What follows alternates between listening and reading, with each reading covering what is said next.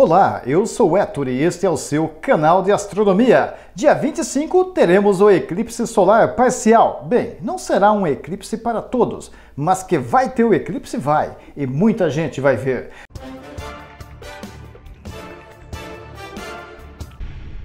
Veja nesse vídeo onde você deve estar para ver o eclipse e o que fazer para ver, pois não basta apenas olhar para o Sol, você nem deve fazer isso. O eclipse solar parcial é quando a lua nova passa em frente ao Sol, porém não passa totalmente. Neste dia vai encobrir o Sol até 82%. Então você não vai ver esse eclipse assim de boa.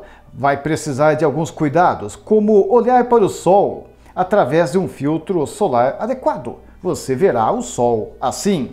Legal, não é? Esse eclipse não será visível do Brasil, uma pena. Mas não desanime, em 2023 teremos um grande eclipse solar anelar para dizermos yes, nós também temos eclipse. Será no norte e nordeste do Brasil e eu estarei lá para transmitir para você. Até já consegui negociar folga para viajar. Será em um sábado, mas irei antes para preparar as coisas e fazer uma boa transmissão. Melhor do que aquela que fiz no Chile em 2019. Agora já tenho filtro e a câmera para transmitir com sucesso. O telescópio não vou levar, pois é grande e arriscado. A câmera é boa, com uma lente de 250mm conseguirei uma boa imagem do eclipse mas isso só em outubro de 2023, voltando ao eclipse solar parcial de 25 de outubro de 2022. Parece que eclipses gostam de outubro. O ponto de máxima cobertura, máxima ocultação do Sol será na Rússia, nas regiões de Raduzny,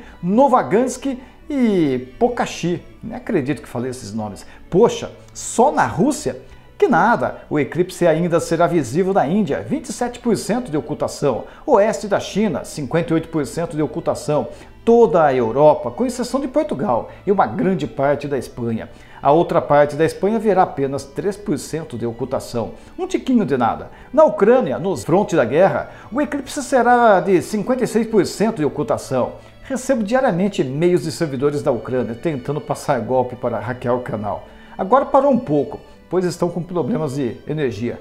Em Islândia, lá do outro lado poderão ver o Sol ocultado em 24%. Reino Unido, pois está em latitude mais baixa do que Islândia, terá um eclipse de 17% de ocultação, se tiver sol por lá. Na África, o eclipse será visto apenas na Tunísia, Líbia, Egito, Sudão, Etiópia e Somália.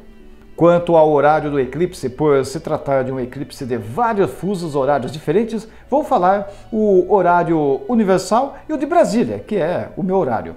O eclipse será melhor visto na Rússia, naquelas cidades que mencionei anteriormente. O horário de máxima ocultação será às 11 horas no horário universal. No horário de Brasília será 3 horas a menos, 8 horas, mas não será visível em Brasília. O eclipse começará às 8 horas e 58 minutos e será visível até às 13 horas e 2 minutos no horário universal, 5h58 a 10 horas da, da manhã no horário de Brasília, variando de acordo com a localização. E para finalizar, vejamos o que acontece quando temos um eclipse. Veja o Sol, a Lua e a Terra, vistos de fora da Terra. Para ocorrer o eclipse, a Lua deverá estar entre a Terra e o Sol. Temos a Lua nova neste caso pois a maior parte da Lua iluminada pelo Sol está voltada para o Sol, e a parte da Lua que está voltada para a Terra está escura devido à sombra da própria Lua.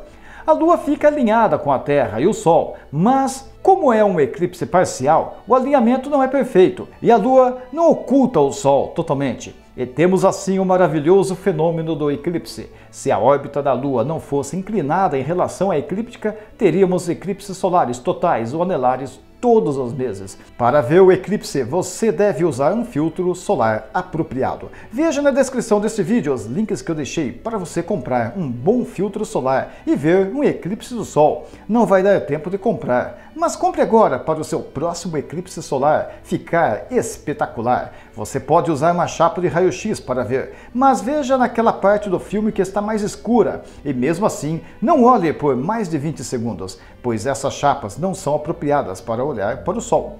Filtros de máscaras de solda também servem. Vale a mesma regra. Compre o mais escuro que você puder e não olhe por mais de 20 segundos. Olhe, faz uma pausa, olhe novamente. O ideal mesmo é o filtro solar, pois ele possui todas as propriedades para filtrar radiação solar, o infravermelho e o ultravioleta, que são nocivos para os nossos olhos. Espero que você goste do vídeo e que esteja no caminho do eclipse. Se não estiver, tenha paciência para o próximo eclipse em outubro de 2023. Será show! Se chover, não será show. Não deixe de me seguir no Twitter, Instagram e Facebook para não perder as notificações dos próximos vídeos e ficar antenado às maravilhas do nosso universo. Deixe seu like, comente esse vídeo para eu ler, leio todos os comentários, inscreva-se nesse canal e assim você estará ajudando o canal do Héctor a crescer. Fui!